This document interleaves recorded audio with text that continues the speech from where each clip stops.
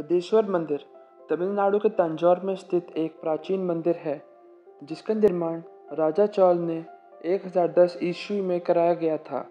बृहदेश्वर भगवान शिव को समर्पित एक प्रमुख मंदिर है, जिसमें उनकी नृत्य की मुद्रा में एक मूर्ति है, जिसको हम नटराज के नाम से जानते हैं। मंदिर को राजेश्वर मंदिर, राज, राजेश्वरम और पेरिया कोविल के नाम से भी जाना जाता है। एक हज़ार साल पुराना यह मंदिर यूनेस्को के विश्व धरोहर स्थलों की सूची में शामिल है और अपने असाधारण ऐतिहासिक और सांस्कृतिक मूल्यों की वजह से काफ़ी प्रसिद्ध है। बृहदेश्वर मंदिर एक शानदार वास्तुशिल्प निर्मित है।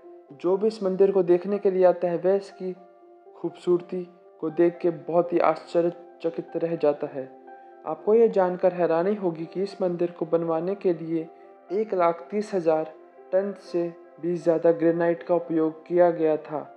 यह मंदिर दक्षिण भारत राज्यों की स्थापित कौशल और आत्मीयता को दर्शाता है। बृहदेश्वर मंदिर भारत के सबसे बड़े मंदिरों में से एक है और चौल वंश की वास्तुकला का एक बेहतरीन नमूना है।